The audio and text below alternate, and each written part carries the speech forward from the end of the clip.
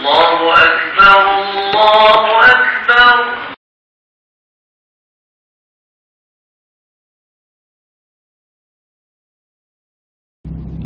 أعوذ بالله السميع العليم من الشيطان الرجيم. بسم الله الرحمن الرحيم.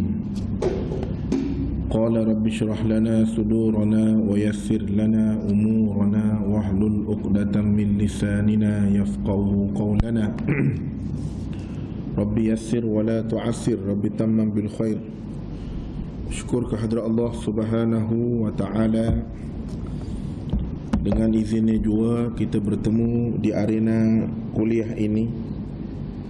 Dan dengan keizinan Allah juga Kita terpaksa menangguhkan di atas uh, isu-isu keselamatan yang diambil kira oleh pemerintah sendiri supaya menangguhkan sesi kuliah. Mujur mujurlah kuliah kalau semaya pun macam hari itu. Hmm. Muslimin muslimat rahimakumullah.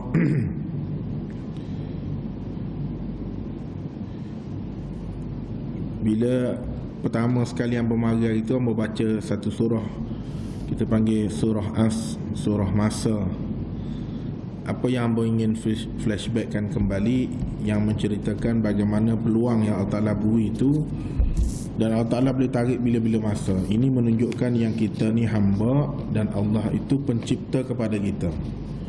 Mana kita ni ibad Allah tu Rabbul ibad. Jadi kita suka tak suka bila Allah Taala tarik nikmat tu habis dah. Jadi peluang yang Allah Taala beri ini maka saya terutamanya yang memberi uh, mutiara kata-kata ataupun sedikit cebisan ilmu yang Allah Taala pinjamkan ini dan tonton yang mendengar sebagai mustamiin tetapi matlamat dia satu. Uh, mestilah mengamalkan. Jadi kita bertemu kembali Maknanya Amba Kuliah uh, Lunda ni dua kali dah lah Kita tangguh ya. Janji ingat Haji Ayub kata okey Masih baik. Sebab Kuliah subuh tu okey Sebab tak keluar titah lagi. Pada pukul 8 aku 9 tu keluar titah Sambung pula. Jadi uh, Gitulah. Maka persiapan baru ni buatlah plan-plan nak Maksudnya buat selawat. Sekarang kita nak ceritakan berkaitan tentang Maulid Rasul lah.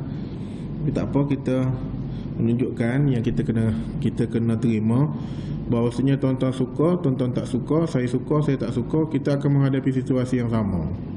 Begitulah perumpamaannya apabila Allah Taala panggil kita menghadap balik pada Allah Taala. Kita suka, kita tak suka, kita tetap kena kembali berjumpa dengannya. Yang kita rusing kalau kita kembali berjumpa dengannya, Tuhan tak suka kita. Ha, itulah kita rusinglah, rusing sangat. Sebab nasib manusia ini apabila uh, dengan izin Allah memberi dia mati dalam keadaan husnul khatimah. Uh, itu adalah kita panggil bushra, kita panggil an-najihin, kejayaan yang paling besar daripada besar yang ada kita besar. Jadi kalau Tuhan ukur miskin, maka Tuhan akan tanya beberapa manusia yang fakir miskin di atas muka bumi ini. Kalau Tuhan kata kaya Tuhan akan tengok pada Nabi pun ada yang kaya Sulaiman Nabi Sulaiman. Ataupun um, um, kita panggil pegawai-pegawai Fir'aun Korun, Haman dan seumpamanya. Tapi Allah tidak menghitung begitu. Walaupun abid uh, ataupun kita panggil barshisha akan tetapi di pengakhirannya dia menghadap ilahi tidak sepatutnya dengan status dia. Yang paling besar guru yang mengajar kita dalam erti pengalaman iaitu Azazil yang mana telah selesa duduk di tempat singgah sananya yang mana berada di dalam syurga Allah Subhanahu wa taala namun tidak dapat mengamalkan apa yang dia ketahui disebabkan engkarnya untuk taat kepada perintah Allah sujud kepada Adam maka dia mendapat kehinaan. Dan bukan saja kehinaan maka dia berazam pula. Oh, dah halang-halang aku boleh ke biar padai lah aku boleh masuk neraka. Ni aku nak buat tarik semua masuk neraka. Jadi tuan-tuan tahu perempuan tahu modus operandi. Apa maksud modus operandi? Matlamat syaitan. Matlamat untuk menjadikan misi dia itu tercapai. Kalau tidak sia lah dia seorang-seorang Jadi dia nak mau sebanyak-banyak mungkin. Jadi tuan-tuan tahu itu, tuan-tuan akan khabar. Kalau saya tahu benda itu, tuan-tuan saya akan khabar bahawasanya dunia ini diseliputi dengan noda-noda yang akan membuat kita terheret. Jadi maknanya dia dia panggil uh, kita berada di di di di mata pisau yang tajam. Jadi kalau kita pandai mengimbangi diri kita, kita akan kekal duduk atas tu. Tapi kalau kita tak pandai, kita akan gelecoh. Gelecoh tu sama ada terseret, tertusuk ataupun macam mana gitulah. Ha, jadi mana gitulah kita ni. Mana kita nak kena beringat benar lah. Macam mana kita nak beringat tu, tuan-tuan sudah maklumi dengan sesi kuliah yang telah tuan-tuan hadiri. Dan bukti Allah Ta'ala tunjuk kuasanya, Allah Ta'ala cuma hantar uh, makhluk dia lebih kecil daripada kumel ha, lebih kecil daripada zarah hanya datang lebih kecil pada hama maka mampu untuk mematikan manusia. Dan mampu untuk mengkucabilaukan pentadbiran. Dan mampu untuk membuat kucak kacir dunia. Dan sebab-sebab pada punca tu disalahkan manusia lain. Hmm. jadi ada yang khilaf. Dia kata ni mari semayang ni. Ambil mazhab mana ni? Pecah-pecah gitu Lepas tu pula ada menghujung kepada pemerintah kita Mengkecek saja Musdi pergi. Mana nak tahu. Saya nak ceritanya kenapa perkara itu berlaku. Jadi kita melihat dengan sudut mata hati Kita boleh uh, mentestabilkan jiwa kita. Tapi kalau kita melihat dengan mata nafsu Dengan mata kemarahan Maka kita akan menyalahkan uh, Macam mana Kenapa benda itu berlaku. Jadi Jadi tuan-tuan Gunakanlah peluang uh, ilmu tuan-tuan pengalaman ha, depan hamba ni ada 60 50 pas bayang hamba 45 ha, 45 dah hamba tahun ni. Jadi nak ceritanya tuan-tuan ha, kita gunakanlah.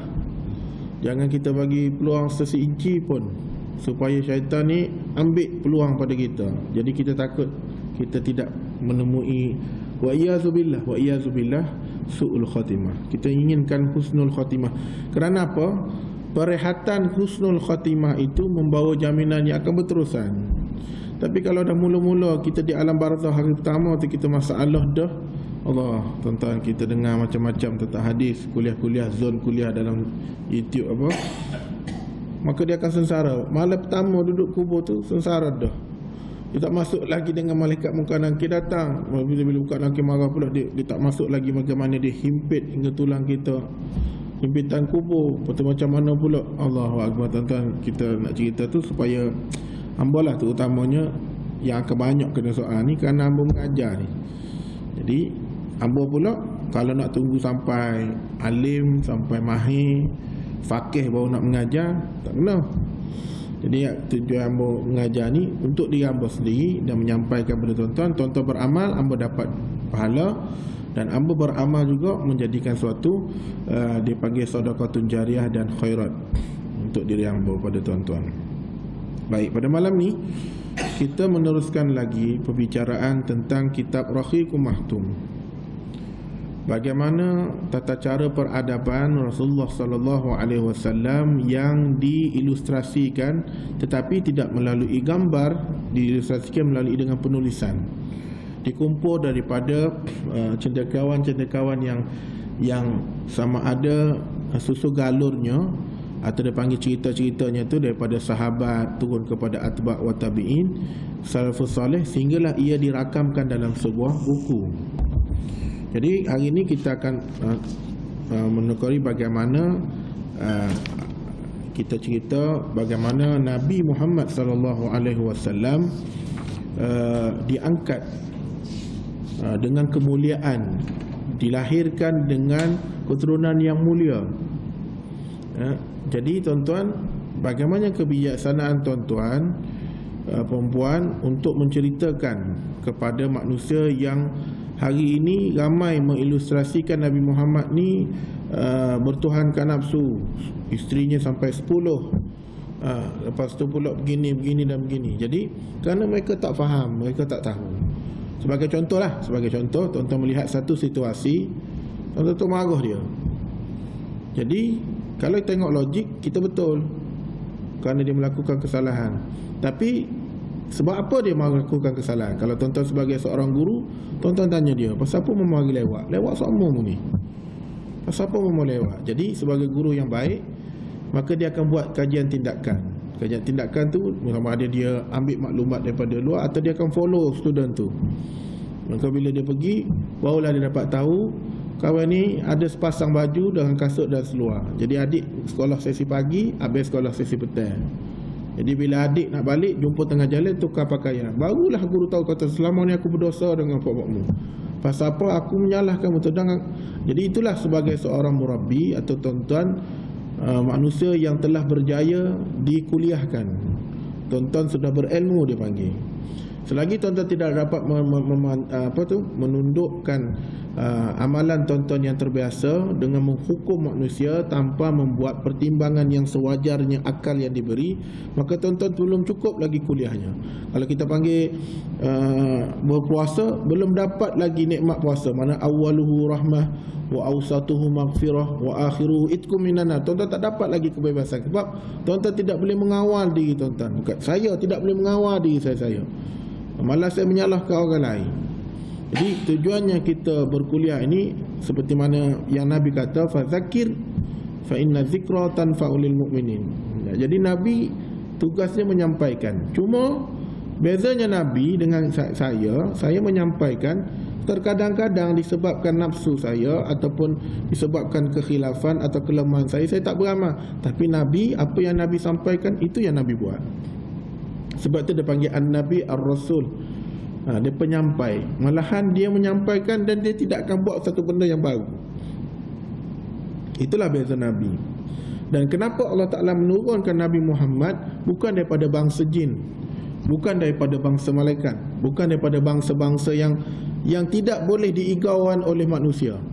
Tapi diturunkan daripada bangsa kita Orang macam kita berhidup uh, berkahwin dan seumpamanya, hidup kehidupan seperti biasa, cuma diberi kemuliaan sebagai pembawa kepada rahmat dan dipilih sebagai Nabi Muhammad itu rahmatan lil alamin. Jadi bila manusia tengok tak ada beza. Cuma bezanya dia iaitu Rasulullah SAW diangkat menjadi rasul untuk menyampaikan tugasnya besar. Dan kita sebagai umatnya mengikut apa yang disampaikan. Dan mana sumber dia? Dua. Dipanggil sumber makfur. Al-Quran dan perbuatannya hadis. Ha, Jadi tuan-tuan Mudah ya kita nak kita nak counter back. Kita panggil counter back eh. Kita nak check balik kita punya email ni Okey tak okey. Selama tuan-tuan duduk Sembahyang Berpuasa Kita panggil rukun Islam lah. Menyempurnakan yang pergi haji komplit rukun Islam. Yang tak pergi haji lagi kerana tidak berkemampuan. Okey tunggu masa sekarang peluang untuk pergi haji ni pun dah hampir tipis. Baru ni Ambo cerita dah dengan tuan-tuan 2 minggu 3 minggu lepas nak pergi daftar haji. Orang yang dah pernah pergi haji tak boleh pergi haji dah. Maknanya nak mendaftar ruang untuk mendaftar tutup. Lah tutup kecuali tukar pentadbiran baru ke buka bubar polisi boleh lah. Jadi maknanya mereka yang dah pergi hatta suami dan isterinya bekerja di tabung haji pun dia nak bawa isteri dia sewenang-wenangnya tak boleh. Ha, jadi nak ceritanya dulu selepas pergi haji balik daftar lagi sempat. Lepas tu sampai keluar selepas 5 tahun boleh daftar. Ambil tunggu tunggu 5 tahun lah. Balik 3 tahun nak daftar kata tak boleh dah ustaz. Walaupun ustaz sebagai pemimpin ibadat haji tak boleh. Bukan kata ustaz kami pun tak boleh. Jadi macam mana saya kalau saya nak pergi? Boleh. Dengan visa furada. Biasanya visa furada ni tidak dijamin Uh, seperti mana jemaah haji Malaysia pergi sebagai muasasah dia pergi dengan satu visa tetapi tak ada keistimewaan itu. Kalau berlaku sakit dia tanggunglah. Kalau berlaku kematian pun syarikat tu tanggunglah. Banyak cargo lah dalam visa furada ni. Berbanding dengan pergi jemaah haji kita panggil sebagai muasasah haji dia akan dilayan sebagai tetamu Allah. Sakit dia kematian dia apa semua dia akan beri keistimewaan oleh Saudi Arabia. Kerana dia visa dia panggil visa haji. Uh, Duyufur Rahman. Kalau visa Furada ni sebagai Duyufur Rahman juga tetamu Allah. Tapi keistimewaan tidak seperti mana jadi maknanya tuan-tuan peluang tu hai tarik dah. Ha, jadi mana kena kabar lah tu? Maknanya kau lama kau lama kau lama dah. Lepas tu yang paling benar lagi yang paling jelas pada diri kita bila Allah Ta'ala marikan satu suatu penyakit ibtilak itu untuk memberi penyadaran ada setengah manusia selesa dan setengah manusia merasakan benda ah tak apalah kena suap tu okey ya kena go tu okey ya Padahal sebenarnya benda tu adalah satu peringatan. Jadi buktinya baru ni kita punya jemaah menteri pun terpaksa melalui situasi itu. Ha, jadi bila dia sendiri melalui maka dia bolehlah mengkhabarkan pengalamannya dan dia bolehlah menceritakan bawahnya walaupun saat itu bagaimana diriku merasakan seolah-olah aku ni pergi belum tentu kembali. Ha, sebab implikasinya sangat besar. Ha, jadi tuan-tuan nak ceritanya inilah peluang. Maksudnya sebutlah lima perkara sebelum datangnya lima perkara. Baik. Malam ini kita menceritakan bagaimana Rasulullah SAW apabila berlaku uh, pengalaman pertamanya uh, di uh, uh, terlibat dengan uh, dengan peperangan hari itu kita dah cerita. Dan bagaimana Rasulullah SAW uh, diutuskan uh, bila Rasulullah SAW sampai waktunya Rasulullah SAW hampir mencecah umur 40 tahun maka Rasulullah sentiasa bermuhasabah bertafakur buktinya eh, ketika Rasulullah SAW dalam umur 8 tahun ada mengatakan 10 tahun sama kanak-kanak uh, ceria didatangi dua malaikat untuk membuangkan perkara yang hitam berada di dalam uh, tubuh badan Rasulullah SAW iaitulah di hati. Uh, seperti mana kata hadis Iza saluhat saluhat kullu Wa iza fasadat fasadat kullu. Jadi kalau dia baik Maka baiklah ke seluruh anggotanya. Kalau dia teruk Dia rosak di situ Maka rosaklah seluruh anggotanya Jadi maknanya itulah dinamakan iman. Di mana tuan-tuan Bila Rasulullah SAW berfikir Dia berfikir bagaimana berlakunya siang. Bagaimana tiba-tiba boleh berlakunya malam. Siapa yang menciptakannya dan seumpamanya. Sehinggalah sampai kematangan yang dipilih oleh Allah Subhanahu taala segenap umur 40 tahun maka ketika itu Rasulullah sering kali bersendirian. Dalam bahasa Arab dia panggil uzlah uzlah kadang-kadang tuan-tuan uh, datang ke bilik ataupun datang ke satu sudut untuk bersendirian bersama dengan pencipta sang pencipta Allah taala Ha, tu dia panggil apa suluk eh kita panggil uh, uh, kita panggil apa eh uh, yang paling dekat tu kita panggil uh, bersendirian lah uh. Jadi tujuannya iaitulah untuk mendekatkan diri kepada Allah Subhanahu Wa Taala. Maka dalam keadaan Rasulullah beruzlah itu Rasulullah berbekalkan dengan roti uh, yang dibuat daripada gandum dan air lalu Rasulullah SAW pergi ke Gua Hira kalau tengok logiknya macam mana boleh tiba-tiba Rasulullah SAW boleh pergi ke Gua Hira siapa yang mendorongnya? Sudah semestinya sang pencipta iaitu Allah Rabbul Jalil jadi Rasulullah ingin bersendirian. Maka Rasulullah bawa bekalan. Macam tuan-tuan kadang-kadang bila terlampau uh, hamba pernah pengalaman hamba di Mindef lah. Waktu hamba di, di, di, di HQ di Mindef. Jadi bila hamba terlibat dengan juru iring kepada uh, panglima-panglima ni pernah lah terlibat. Uh, pernah hamba ziarah satu satu hospital ni. Hospital tu hospital uh, peribad uh, kita sepanggil swasta lah kebetulan hamba nak uruskan uh, uh, kebetulan hamba punya pengarah tu kena denggi.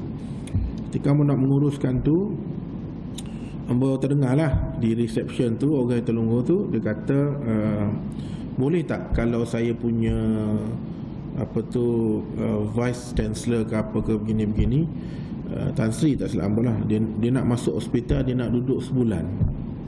Nak tahu berapa kos. Tujuannya dia nak bersendirian Maknanya dia ada duit. Jadi dia nak berehat Tak ada tempat lain dah. Padahal setengah orang ni tak ada duit ni Masjid eh. Kadang-kadang beruzlah di mana-mana eh, lari ke rumah kawan ke. Dak dia dia tahu dah. Dia memang tak lagi lain dah. Dia tahu saya bini dia kaca cucu dia kaca bisnes dia kaca foto dia kaca. Dia charge duduk dalam wad sebulan maknanya manusia sampai ke tahap untuk untuk beruzlah. Tujuannya tak mau dikaca dia berehat uh, hospital hospital swasta ni jawab dekat dengan kita nak lah.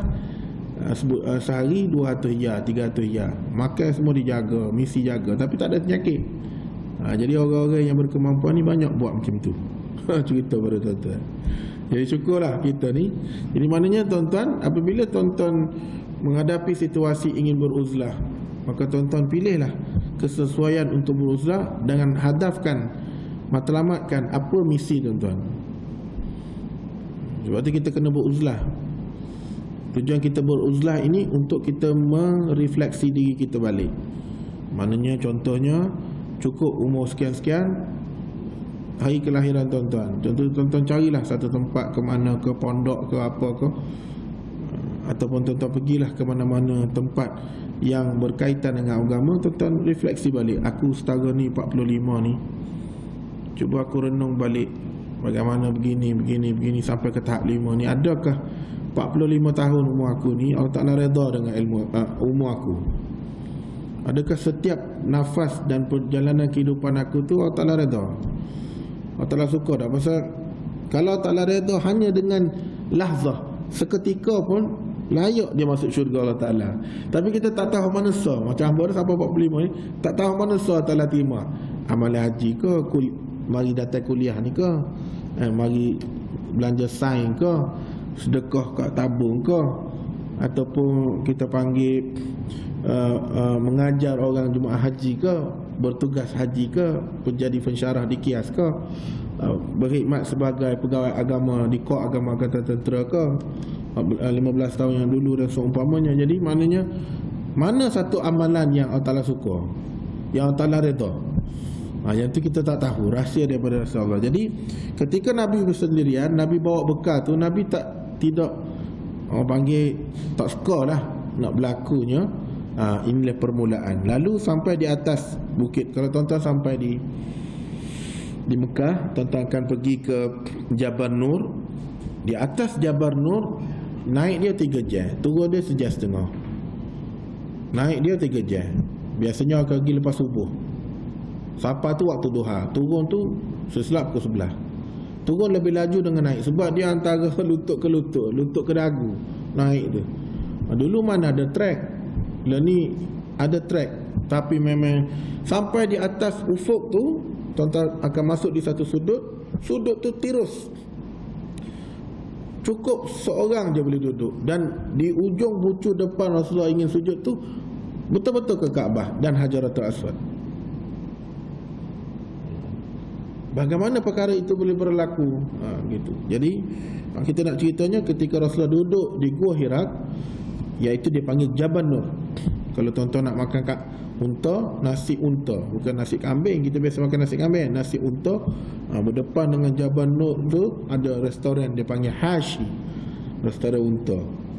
Tuan-tuan makan unta ni Lebih kurang 10 kali ganda makan kambing. Panas tuan-tuan. Tapi sedap Harga dia 120 rial Satu talam besar. Itu baru separuh unta. Tuan-tuan tak pernah tengok Satu ekor unta duduk dalam satu talam Makan apa orang. Ha tu nak cerita. Jadi tuan-tuan Bila dia sampai di situ Ketika Rasulullah SAW uh, Berada di situ Sebenarnya Rasulullah SAW mengasingkan dirinya memilih salah satu adalah perancangan perancangan Allah Subhanahu Wa Taala. Maka Allah menggerakkan hati Nabi supaya melakukan perkara ataupun perbuatan itu. Lalu dalam keadaan itu uh, ketika berada bersendirian maka uh, dalam kehidupan sibuk dia dengan peniaga dia isterinya iaitu Khadijah Ah, dan kakaknya Asma dan sahabat-sahabatnya maka dia datang untuk merefleksi diri. Namun ketika Rasulullah SAW berada di situ dan Rasulullah SAW ingin melihat apakah perjalanan apakah kehidupan dia ini sia-sia dan seumpamanya. Maka ketika itulah perbuatan Rasulullah SAW naik ke Jabal Nur di sudut itu ada kita panggil gua Hira atau kita panggil sudut untuk bertafakur di situ. Kita panggil gua Hira. Maka pada usia itu usia 40 tahun. Yang mana ketika itu peringkat usia inilah kebanyakannya kebanyakannya semua rasul anbiya dijadikan nabi dijadikan rasul. Maaf dia dah lahirkan untuk jadi nabi tapi dia diangkat menjadi rasul Maka kebanyakan para anbiya diberi uh, tugasan sebagai rasul ini kebanyakannya genap 40 tahun.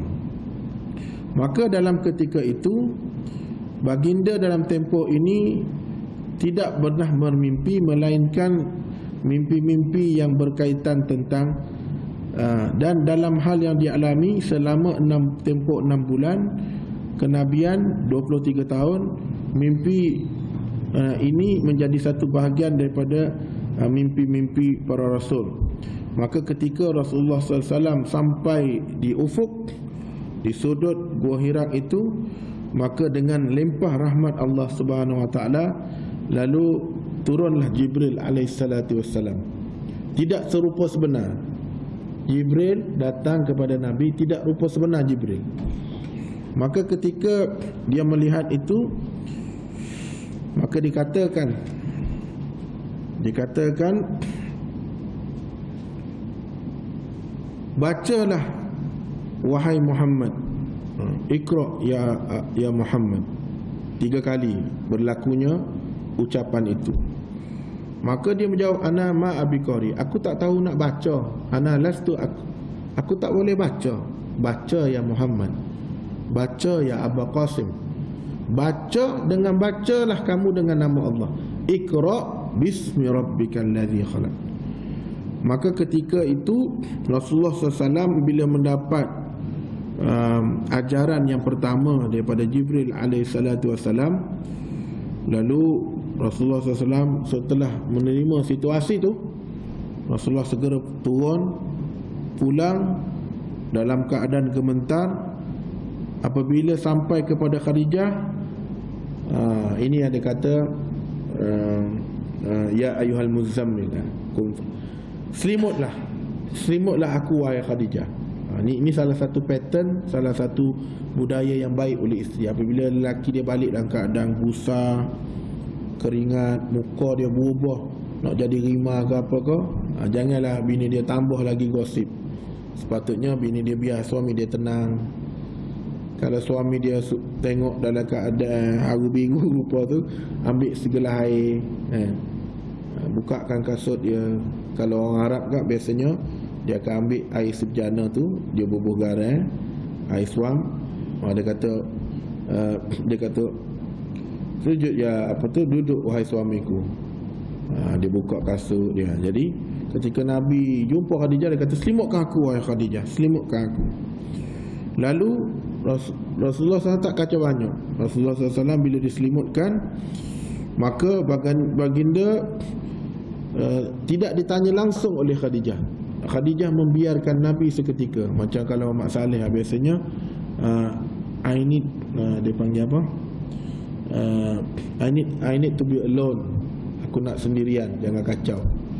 Jadi maknanya kalau tuan-tuan juga uh, berhadapi situasi begitu dengan anak bujang anak dara ke tuan-tuan biarkan dia seketika.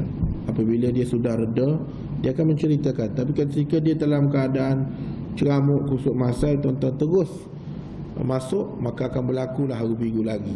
Ha, jadi ini satu model yang ditunjukkan oleh Khadijah Sayyidatina Khadijah.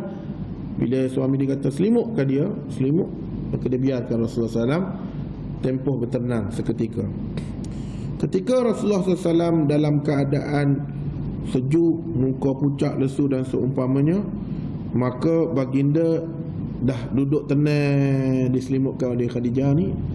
Seketika Maka dia kata Ya Khadijah Wahai Khadijah Apakah yang terjadi padaku? Ha, Dia tanya pada Khadijah. Lalu Khadijah uh, Bimbang kepada Nabi Muhammad SAW Sebab perangai dia tak pernah jadi lagu ni Ini kali pertama Situasi kehidupan Selama Khadijah bersama dengan Rasulullah SAW Inilah satu situasi Yang melihat suami dia ni pucat, ha, lesi, takut, gemuruh macam-macam lah ada tu. Maka dalam keadaan itu lalu Khadijah menyahut Aku bimbang sesuatu yang tidak baik berlaku kepadamu. Tidak sekali-kali demi Allah yang akan mempersia-siakan kamu wahai Rasulullah. Maka bila uh, suami eh kita sebagai suami tanya pada isteri uh, mu tengok gapo dia kat aku ni? Uh, awak tengok gapo kat abang ni? Contohnya. Jadi si baik isteri yang baik walaupun dia nampak apa dia mententeramkan suami dia. Bukan dia tambah lagi cerita Ha, apa nak tahu tak tadi kan gini ah penat penat lagi lah kawan ni. Penat lagi kalau kata nak tak nak masuk hospital ke hospital sungguh lah masa tu. Ha, jadi ini sama juga kita kalau kebetulan kita sudah pencen kita sudah besar awal isi kita bekerja. Jadi sudah semestinya akan berlaku lah uh, saling budaya cross budaya lah. Sebab tu kita yang bekerja tapi kita disebabkan uh, faktor-faktor tertentu kita pencen awal. Mungkin kita volunteer untuk jaga anak untuk untuk menguruskan rumah tangga maka isi tak apa jadi seorang-seorang begitu. Jadi ketika dia balik nampak dia hari biru kita buatkan sesuatu. Adakah jatuh standard kita sebagai suami kerana menyantuni isteri pada ketika isteri pulang kerja? Tak. Sebab kita hidup dengan dia kan? Orang lain tak tahu kecuali kita cerita. Mak tadi kan? Kita yang buka aib kita. Kalau kita tak cerita orang tahu. Orang jenguk kau. Dalam kelambu kita. Tak Jadi kita menyantuni isi kita dengan hikmah. Okey ayah. Ha, Duduk. Ha, Kopi kopi. Take off. Ha, Senang ke dia. Lepas kita tanya Gapa dia? Ha, Abang tengok gapa ke adik ni? Ha, Contohnya. Kata tengok pelik awak hari ni. Oh dia kata gini bayar sebenarnya. Ada orang bagi ambil sejuta Contoh nak cerita. Jadi maknanya Walau bagaimana berlaku pun Ketika Siti Khadijah Ditanyakan oleh Rasulullah SAW Maka Siti Khadijah mententeramkan Rasulullah SAW Ketika Rasulullah bertanyakan begitu Khadijah kata aku bimbang Tetapi aku yakin Allah Ta'ala menjagamu wahai Wahai Nabi Muhammad SAW Maka ketika itu Barulah dibawanya Nabi berjumpa dengan satu uh, pak saudara dia uh, yang bernama Warakah bin Naufal bin Asad bin Abdul Uzza iaitu pak saudara pada Khadijah. Bila dia dah tentram dia dah cerita pada Nabi eh, maaf Nabi dah cerita pada Khadijah begini begini begini maka dia kata kata tak apa bah gini bah kita jumpa orang yang lebih tahu. Mungkin ambo tak faham situasi abang ni. Jadi hamba bawa abang pergi jumpa dengan pak darah hamba. ha, kebetulan pak darah dia ni adalah al-kitab. Maka dia bawa jumpa dengan Warqah bin Naufal bin Asad bin Ab, bin Abad al-Uzza. Ha, tuan kena ingat eh? Ketika Rasulullah SAW lahir kan ada banyak berhala dalam Kaabah tu eh? salah satunya ada juga berhala yang bernama Lata wal Uzza. Jadi keturunan ni keturunan yang mulia ni. Eh. sebab apa? Orang yang hebat-hebat ni apabila sudah uh, disemadikan untuk memperingati dia ataupun seolah dia ni lah bagi banyak benda maka dia binanya patung. Dan disembah patung tu. Salah satu patung tu nama Uzza. Jadi bila kita sebut Warqah bin Naufal bin Asad bin Abdul bin, bin Abdul Al-Uzza maka mari keturunan itu ketika dia bawa berjumpa yang mana pak saudara dia ni adalah pengganut agama Nasrani semasa jahiliah yang menulis kitab dalam bahasa Ibrani. Di bahasa Ibrani ni tuan-tuan, kalau tuan-tuan boleh tengok, uh, hari tu ada di museum eh, di museum kita. Uh, dia panggil apa? Bukan abstrak, dia panggil ilus, bukan ilustrasi tapi replika yang dibuat. Uh, jadi tulisan dia hampir macam tulisan uh, Arab tapi uh, dalam bentuk khat kufah. Di kotak-kotak begitu. Jadi Ibrani eh. Maka Wahai bapa saudaraku Dengarkanlah apa yang bakal diceritakan oleh anak saudaramu ini Iaitulah suamiku Muhammad bin Abdullah Maka ketika itu Setelah mendengar cerita ni Maka Warkah berkata kepada Muhammad Ya Muhammad Apa yang kau lihat? Maka baginda mengetahui Aku melihat uh, Yang mana Uh, satu uh, nur yang datang suaranya dan begini situasinya begini dan begini maka warkah menerangkan kepada Nabi wahai anak saudaraku apa yang engkau lihat? Rasulullah SAW menceritakan. Maka kemudian setelah dihabiskan cerita itu maka warkah uh, warkah ni tadi bin Naufal ini dia kata itulah namus yang diturunkan kepada Allah itulah kitab yang diturunkan kepada Musa satu ketika dahulu dan itulah lani itulah kitab yang diturunkan kepada kamu ya Muhammad dulu dia panggil uh, kitab yang dinamakan namus iaitu Taurat eh diturunkan kepada uh, Musa uh. Zabur diturunkan kepada Daud uh. Musa Taurat. Nah Injil diturunkan kepada Isa. Maka itulah namus kata oleh Warqah bin Naufal. Sama seperti mana diturunkan kepada Musa pada satu ketika dahulu iaitu di Jabal Tursina maka ketika itu dalam keadaan dia tulis tu kemudian alangkah baiknya kalau kamu masih muda aku masih hidup ketika kaummu mengusirmu lalu Rasulullah SAW bertanya apakah mereka mengusirku nanti wahai pamanku wahai pak saudaraku? Maka jawab apakah betul tak ada seorang lelaki pun yang membawa seperti engkau bawa melainkan engkau akan dimusuhi oleh orang yang mendengar tu.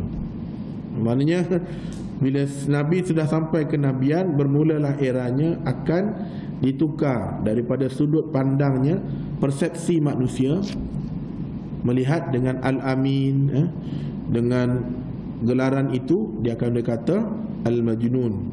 Ha, dia akan kata gila pembohong al-kadzab dia kan jadi dia tanya pada pak, pak saudara dia adakah perkara ini akan berlaku dengan aku? Aku akan dimusuhi aku akan dibenci. Ya akan berlaku. Maka setelah dijelaskan begini begini dan begitu akhirnya syukur aku pernah melalui situasi ini pada uh, uh, uh, aku telah mendengar kisah ini ketika Musa melalui pembacaan dan aku sempat sebelum uh, hayat aku diambil oleh Tuhan oleh Allah maka aku sempat mendengar daripada mulutmu sendiri yang mana Al-Quran atau Al-Kitab diturunkan kepadamu. Seperti mana Musa menerima An-Namus uh, menerima Taurat. Maka ketika itu uh, Warkah pun meninggal dunia dan wahyu itu terhenti. Uh, ketika lepas dia jumpa Warkah tu Warkah ada pesan pada dia. Mu jangan geger. Mu jangan kau ni jangan kau ni. Peliharalah diri dia. Khadijah mu jaga baik-baik tok lelaki mu. Dia bakal menghadapi musuh yang besar. Dan selepas pada tu turun wahyu lagi. Turun turun turun. Sampai sampai di saat dekatnya Warkah meninggal dunia wahyu berhenti maka dalam salah satu uh, kitab ataupun dalam satu uh, ulama yang menulis At-Tabrani dengan Ibn Syam dalam hadis menggambarkan bagaimana Rasulullah sallallahu alaihi wasallam keluar daripada gua, uh, gua Hira setelah dikejutkan dengan wahyu kali pertama. Mari mana ni kan? Rupa tak jelas lagi kan? Ha. Lepas tu kembali menyambung ibadatnya. Setelah itu dia pulang ke Mekah, maka menurut At-Tabrani menunjukkan bahawasanya baginda keluar dari gua itu nasnya Rasulullah menceritakan selepas penyebutan tentang kedatangan wahyu itu Uh, kepada makhluk Allah yang uh, uh, uh, selain pada penyair atau orang gila maka aku tidak berupaya untuk mendatang ke arah mereka berdua. Lalu berkata sesungguhnya orang yang jauh ini dimaksudkan dirinya sendiri uh, seorang pensyair ataupun dikatakan gila Amba pernah buat satu tamsir di satu masjid eh. Amba cerita mudah ya. Amba kata begini pada tuan-tuan. Satu hari Semut Dia masuk dalam jubah hamba ni. Nih. Semut Dia masuk dalam jubah hamba. Seekor ke Sekumpulan semut ke Dia masuk. Lepas tu dengan jubah yang sama ni Hamba sarung Hamba naik ke Betubel Naik ke Betubel Pergi Mekah contohnya. Ataupun paling dekat lah Pergi Kuala Lumpur Semut ni duduk Kelantan. Hamba naik pagi eh. Sampai Kuala Lumpur Hamba pecah Jubah ni Hamba tak pakai jubah iman ni Hamba pakai jubah ada dalam ni. Hamba tak. Semut ni pun keluar. Dan nak bagi faham mudah-mudah ya. Semut ni keluar. Semut ni keluar Rata reti lagi ya. Lepas tu Saat hamba nak balik Hamba tak tahulah semut ni masuk balik ke tak. Semut ni dah cukup masa dia Dia masuk balik. Eh, Masuk balik Lepas tu hamba sarung balik uh, Jubah hamba naik ke betul balik Ke kota baru balik Masa ke pagi ke atau malam tu juga atau petang tu bila bersapa tu, hamba letak balik jubah hamba lepas kuliah hamba letak balik semua tu keluar. Dia dia dia, dia tahu. Wahai sahabat-sahabat sekalian, tadi aku pergi ke satu tempat. Aku naik kapal terbang Begini, begini, begini Sampai ke tempat Tak ada di Kelantan ni Lagu mana semua-semua lain Kata gila ni semua Begitulah perumpamaan Ketika Rasulullah SAW Subhanalladzi asra bi'abdihi layla minal masjidil haram Isra Mi'raj. Lepas tu dia beritahu dekat sahabat dia, dia kata malam tadi aku di Isra Mi'raj aku tengok tu tengok ni. Abu Bakar kata, "Saddaqtaka ya Rasulullah." Aku percaya benar ya Rasulullah. Hak lain Abu Jahal gila ya Rasulullah. Mana ada esok tadi mu terbang Mugi tengok tu tengok ni tengok tu tengok tengok neraka tengok tu tengok langit pertama langit kedua musmaya apa. Subuh saat ni amu ada? Eh ha, begitulah logik akal kan ha bagi contohlah. Ha, jadi mana cerita tuan-tuan? Bila dia cerita ni Muhammad sallallahu alaihi wasallam siapa dia nabi kita ni? Bakal menghadapi situasi yang sangat getir. Dia nak cerita benda yang manusia tak nampak. Ha, nanti kita akan sampai satu kita akan cerita bagaimana Nabi di Isra Mi'raj kan kenapa berlaku Isra Mi'raj ha. Macam tuan-tuan lah. Kalau tuan-tuan dibagi peluang untuk mati Lepas tu hidup balik. Lepas ni penuh masjid ni rasa. Tak payah. Allah Tak payah dah. Bau sebab ah Penuh dah. Sebab dia tahu dah Lepas ni akan jumpa. Dia nak syurga Dia tak segi neraka Tapi sebab kita tak pernah pergi. Dan kita tak boleh melihat Bagaimana iman Bagaimana ihsan. Tak boleh tengok Maka kita kena terus mari untuk memburu dia Memburu dan memburu. Sampai di satu saat Inna lillahi wa inna ilaihi roji'un ha, Di saat itu Husnul khatimah kita. Maka baru kita akan nampak itu benar. Itu tak masuk dalam kisah Cerita alam barzah ya. Tapi nak ceritanya Begitulah perumpamaan yang kita Saya sendiri dengan tuan-tuan ni Melalui fasa-fasa tu tapi kalau kita tahu seperti kenapa Nabi digambarkan? Dan kenapa di saat ujung ketika malaikat Jibril dengan malaikat Israel turun dia kata ya Rasulullah anta ya Rasulullah. Kau minta lah dengan Allah Ta'ala supaya kau jangan mati sampai kiamat. Tak payah matilah. Eh, minta lah supaya umatmu boleh selamat. Maka kata Rasulullah pada Jibril Jibril setelah aku di Isra' Mi'rajkan aku rindu pada wajah Allah. Sebab tak ada orang yang boleh tengok wajah Allah yang direct berdepan. Melalui melainkan Nabi Muhammad. Hak lain Musa ke apa tengok pada Allah Ta'ala kata wa Allah Allah Ta'ala mari nur dia di Bukit Sur. Rebah Musa. Baru tu tengok nur belum tengok rupa Allah sebenar. Tetapi yang berdepan dengan Allah Subhanahu Wa Ta'ala hanya seorang yang manusia yang boleh. Dan Jibril kata ya Rasulullah Aku sampai di langit yang ketujuh ini. Kalau engkau juga memerlukan aku menemankan engkau di Isra' Mi'raj Nescaya engkau tidak akan melihat lagi Jibril Sampai ke akhirat. Tak ada. Maknanya Ni satu ufuk. Ni ufuk utara. Ni ufuk selatan. Sebenarnya kutuk satu selatan lah. Sayap dia bau satu sayap. Satu sayap. Bagaimana dia terbang Nabi menaiki buruk. Dia kata Kalaulah aku nak tengok aku Hacul buah aku Aku boleh setakat ni je ya Rasulullah. Siapa yang meneman dia? Ha. Yang meneman dia Iaitulah Hanya diri dia sendiri. Tak ada orang teman dia. Naik, naik, naik, naik Sampailah berjumpa dengan Allah Ta'ala Menerima. Iaitulah mandat dia kata Salat sembahyang. Jadi tuan-tuan Nak menceritakan ketika Dia berjumpa dalam keadaan itu Lalu Rasulullah SAW uh, uh, Rasulullah SAW uh, kata lagi lalu keluarlah dia daripada gua melangsungkan niatnya. Lalu dari mendengar suara daripada langit berkata wahai Muhammad kamu Rasulullah dan aku Jibril sebelum dia nak suruh baca ikra' tu Jibril perkenalkan diri dia. Wahai Muhammad dia bagi nama kan Muhammad. Jadi semua kalau kita lah tengah suara-suara kan Ahmad kita mana? Lepas tu dia bagi satu lagi peringatan dia kata wahai Rasulullah ya Rasulullah. Maka dengan tepat. Aku ni Jibril. Maka rupa seorang lelaki yang dua kaki di ufuk langit. Tiba-tiba dia lihatnya seorang lelaki dengan dua kaki di ufuk langit bagaimana keadaan itu sukar untuk saya menggambarkan. Pada cerita begitu. Maka ketika itu aku berhenti dan merenung ke arahnya sehingga melupakan tujuan asal aku naik ke bukit Jabal Sur tadi. Eh maaf Jabal Nur tadi. Dia asal-asalkan dia naik Jabal Nur tu dia nak beruslah ya. dia tidak sekolah yang Jibril akan turun dan pada umur genap tu lah dia akan jadi Rasulullah. Tak sampai ke tahap tu Khabar-khabar jumpa ni. Ketika dia panggil Muhammad Dia tak nampak lagi. Ketika dia panggil Ya Rasulullah aku Jibril. Maka dia tengok Dia lupa asal dia mari sini. Tujuan asal dia mari ke apa? Jabal Nur ni. Ataupun dia panggil Gua Hira Maka ketika itu Aku melangkah ke depan Dan berundur sedikit ke belakang. Kemudian Aku melangkah ke depan Kemudian aku Memalingkan mukaku ke arah lain Di ufuk langit. Maka setiap arah aku lihat tetap di situ dan aku lihat tadi. Maka Rasulullah terkejut kan dia tengok sana tengok sini. Tetap ada Jibril depan dia. Maka ketika itu dalam keadaan terus aku terus saja terdiam kaku dan tidak beranjak.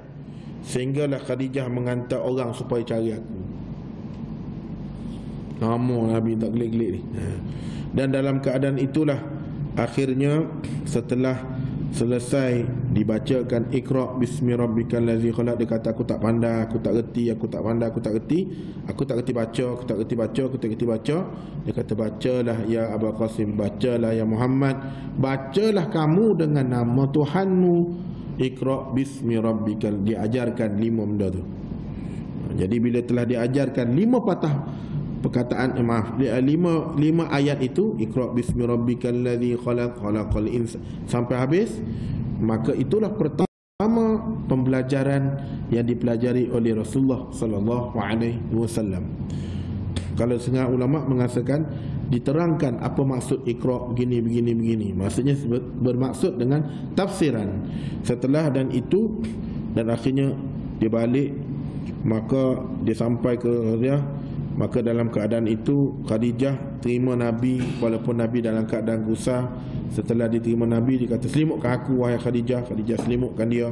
Setelah dia buat jumpa dengan Warqah Warqah dan setelah itu Warqah memberitahu Apa yang akan berlaku pada kamu. Setelah itu Berlakulah adanya uh, Wahyu kedua Wahyu ketiga Sampailah tempoh terhentinya wahyu sebagaimana diriwayatkan oleh sahabat Nabi Ibnu Sa'ad ataupun daripada Ibnu Abbas menggambarkan bahawanya memakan beberapa hari yang mana jelas tempoh sering disebut memakan selama 3 tahun 2 3 uh, tahun atau 2 tahun setengah uh, berlakunya tentang perkara ini. Sebelum nak terima wahyu lagi-lagi lagi tu maka selepas ke, kematian uh, Warqah bin Naufal ni tadi wahyu terhenti sebentar Maknanya boleh tak Allah Ta'ala turunkan sekaligus kepada Nabi Muhammad? Boleh. Seperti mana Taurat, Zabur dan Injil. Tapi buat apa Allah Ta'ala tak turun tu? Untuk persediaan Nabi. Dan Nabi dapat tu Nabi faham. Nabi amal dan Nabi sampaikan kepada sahabat. Ha. Jadi ketika Jibril turun untuk wahyu kali yang kedua, apa saja? Okey lagi kah? Kita berhenti pukul apa? Kita berhenti pukul apa ni? Ha? Lepas tengok eh? Okay. Ketika Jibril turun membawa wahyu kali kedua, kata Ibnu Hajar dalam kitabnya, yang dikemian itu yakin terhenti beberapa hari. Beberapa hari itu bukan seketika lah. Turun tu berhentinya lama. Ada mengatakan tadi uh, dua setengah tahun. Ada mengatakan tiga tahun. Maka timbul keinginan Nabi nak tahu lagi apa dia ni mari lagi. Mari apa dia lagi. Sehinggalah Nabi sebati dengan perbuatan tu. Mula-mula Nabi gusar kan? Takut. Musing. Tapi setelah wahyu itu terhenti, maknanya kenapa Allah Ta'ala buat perkara itu? Supaya Nabi tenteram. Dan Nabi boleh fikir kembali. Dan setelah itu Nabi tenteram. Dan Nabi inginkan perkara itu kembali berlaku. Maka dengan izin Allah Subhanahu wa taala turunlah wahyu.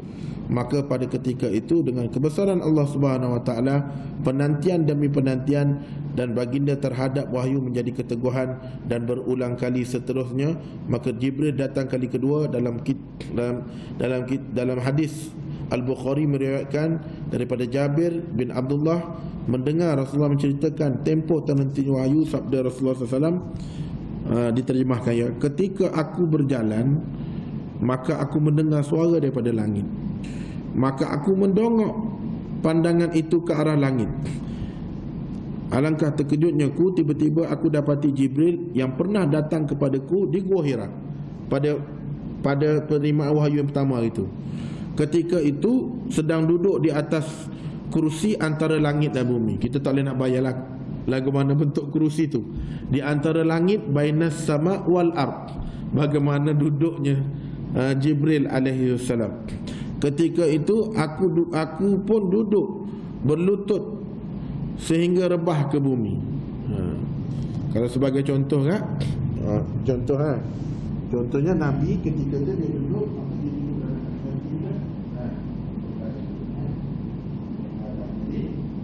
Ketika dia menghadap uh, ke merebah ke bumi maka uh, kemudian aku duduk dan selimutkan aku selimutkan aku lalu Kemudian isteriku datang dan berkata, aku selimutkan kamu wahai Rasulullah.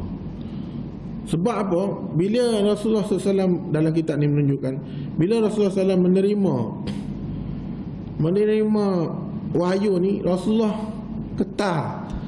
Maknanya besar kalimah Quran itu. Maka mereka pun menyelimut. Lalu Allah menurunkan firman yang bermaksud, Ya ayyuhal mudassir kum fa'anzir turunlah ayat 1 sampai ayat 5 pula wahyu yang kedua yang pertama tadi ikra bismi rabbikal ladzi khalaq ayat uh, wahyu yang kedua turun tentang ya ayyuhal muddassir kum fa'anzir wa rabbaka fakabbir wasi' turun sampai 5 ayat kat situ maka ketika itu inilah menunjukkan bahawasanya sampai satu saat untuk Nabi Muhammad SAW menjadi uh, selesa dengan menerima wahyu itu masih lagi ada debaran dan ketakutan Nabi menerima wahyu. Nak ceritanya Nabi terima Quran tu berat. Berat sampai selimut-selimut. Eh, maknanya dalam keadaan takut. Dalam takut. Dalam tak eh, ketah. Bukan sejuk kerana tak biasa dapat perkara tu. Maka tinggallah ayat ini diturunkan ya ayat juzuk 29 ya ayuhal muddassir kum fa'anzir maka sampai ayat kelima itu kemudian wahyu pun turunlah berturut-turut selepas pada itu turun turun turun turun turun ha. Jadi ada setengah mengatakan lima ayat ada setengah mengatakan turun sepuluh ayat. Jadi bersesuaian dengan Jibril bawa pada itu. Dan sebelum kita membicarakan uh, jenis wahyu kita nak berhenti ni. Okey. Ada beberapa jenis Nabi terima wahyu. Kita ingat eh? Pertama Mimpi yang benar. Jenis turun wahyu Ia bermula Pemulaan wahyu diterima oleh Rasulullah SAW Yang kedua Wahyu dicampakkan oleh malaikat Dalam benak atau pemikiran Nabi. Ha. Contohnya Ketika Nabi SAW balik daripada musafir Maka Aisyah tertinggal. Sebab Nabi tak sempat perhati Aisyah tertinggal dan akhirnya seorang kita panggil sweeper ataupun sahabat Nabi yang menamai Aisyah sampai saja di kota Mekah. Nah, ya maaf sampai di kota Madinah. Orang bawa cerita. Tengoklah isteri Rasulullah. Sekedudukan dengan sahabat Nabi. Itu adalah saat yang paling Nabi betul-betul dihina. Selain pada peristiwa Taif. Sehingga kan Nabi berjumpa dengan Aisyah Nabi tengok selalu Nabi kata Kafa bagaimana kamu ya Aisyah? Bagaimana kamu yang pipi merah Begini-begini Nabi tak kata apa. Sehinggalah turun ayat Untuk mententeramkan jiwa Nabi okay, eh? Yang ketiga Malaikat menjelma kepada Rasulullah Dalam bentuk lelaki Lalu berbicara dengan sehingga benar-benar faham. Maka peringkat ini Dikalanya sahabat juga melihat malaikat itu apa perbuatan itu berlaku ketika datang satu pemuda dalam kita baca kitab kita ayat sahabat atau pernah dengan kita hadis datang dia kata ya wa ya Rasulullah ya Muhammad alimni anil ihsan. Ha, bagi tahu aku tentang ihsan. Ha, setelah itu dia sendiri yang mengajar pada Rasul begini lepas tu dia ber, berlalu. Selepas itu sahabat tanya man ya Rasulullah siapa itu? Dia kata itulah Jibril yang datang mengajarkan kita tentang ihsan ha, itu salah satu. Yang keempat malaikat datang seperti gemersik bunyi loceng. Bunyi uh, ceng ini cara yang paling berat diterasa oleh Nabi. Lalu malaikat meresap di dalam diri sehingga berpeluh-peluh Nabi memecik dan kenderaan yang ditunggang oleh Nabi berderu uh, ke bumi sehingga Nabi sedang pernah sekali wahyu dalam bentuk datang ketika di peha Nabi ber, bergadu uh, peha Zaid. Maka tu Zaid rasa berat peha Nabi tiba-tiba berat Rupanya Jibril turun datang bawa wahyu. Dan kelima, baginda melihat malaikat dalam rupa asal dia. Yang telah kita tengok dalam cerita-cerita diilustrasikan manusia uh, tak tak ada uh, asyafah bersayap dan seumpamanya macam-macam lah. Ha, itu ilustrasi. Tapi rupa sebenar Jibril wallahu taala alam. Yang keenam Allah sendiri mewahyukan kepadanya ketika baginda di atas semua lapisan langit iaitulah ketika peristiwa Mi'raj. Isra Mi'raj. Isra daripada daripada mana? Mekah ke Aqsa. Daripada Aqsa naik tu ha, dia panggil Mi'raj. Yang ketujuh Allah berbicara tanpa perantara malaikat pun. Tak ada Jibril pun maka sebagaimana Allah berbicara dengan Musa bagaimana martabat ini sabit berlaku kepada Nabi Musa yang menyebutkan wa kallamallahu Musa taklima. Tetapi Allah tidak datang bentuk asal. Baru nur je. Tapi kalau Allah datang bentuk asal pensel Nabi Musa. Nur pun Nabi Musa pensel dah. Ada dalam dalam dalam Al-Quran.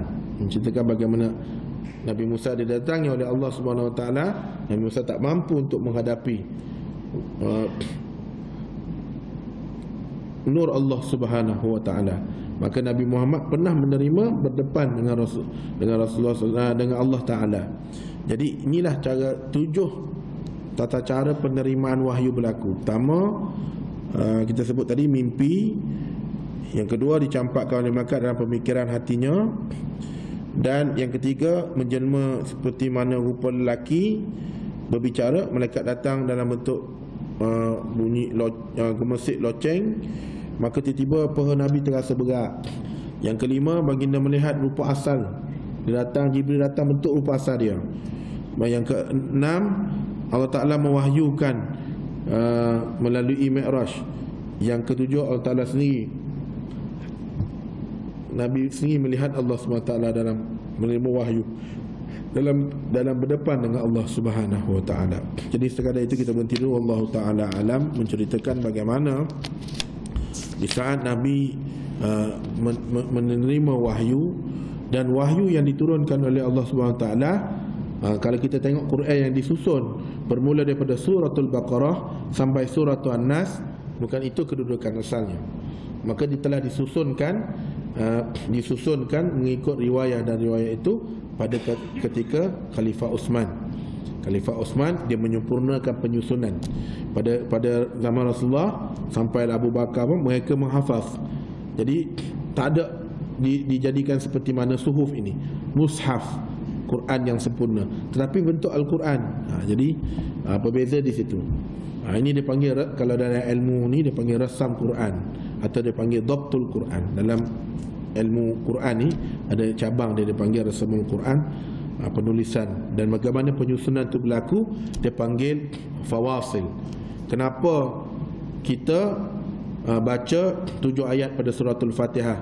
Uh, alhamdulillahi rabbil alamin arrahmanir rahim maliki yaumiddin wa iyyaka nasta'in ihdinas siratal mustaqim siratal ladzina an'amta 'alaihim ghairil maghdubi 'alaihim waladdallin tujuh itu. Kalau pada fawasil yang lain uh, dia baca uh, Maliki yaumiddin iyyaka na'budu wa iyyaka nasta'in ihdinas siratal mustaqim siratal ladzina an'amta 'alaihim. Situ ghairil maghdubi 'alaihim wal maka sempurna tujuh. Bismillah tidak dikira pada ayat dalam suratul ha, itu tergantung kepada penyusunan dipanggil fawasil pengiraan. Ha, tu hamba belajar belakang lah di Mesir. Tapi tidak boleh di, diajarkan di sini kerana tidak ada institusi yang sepatutnya. Tapi kalau dikias memang kita mengajar lah student-student. Ha, kerana itu fakulti tu. Dan nak cerita pada tuan-tuan insyaAllah kita akan melihat bagaimana uh, diceritakan melalui kitab ini perintah menyampaikan dakwah dan intipati dakwah Rasulullah SAW mana setelah diutuhkan Nabi dengan dengan wahyu yang disampaikan dengan tujuh tata cara penerimaan wahyu itu maka Nabi terpaksalah menyampaikan. Maka di sinilah bermula era yang seperti mana diceritakan oleh Warqah bin Naufal tadi maka kamu akan dibenci kamu akan dikata gila kamu akan kata pendusta. Ha, di sini kita akan melihat era era era dan seterusnya والله تعالى أعلم بسم الله الرحمن الرحيم اللهم فكهنا في الدين وعلمنا تأويل وعلى الصراط المستقيم اللهم يسر لنا أمورنا واحلل عقدة من لساننا يفقه قولنا رب يسر ولا تعسر Ya Allah ya Tuhan kami berilah ketenangan kepada kami Ya Allah ya Tuhan kami pandanglah kami dengan rahmatmu janganlah pandang kami dengan kemurkaanmu dan azabmu Ya Allah ya Tuhan kami berilah kami peluang serta peluang serta peluang untuk kami memperbaiki kekhilafan kami dan terimalah taubat kami walaupun kami sering melakukan kekhilafan. Allahumma fakihna fid din wa alimna ta'wil.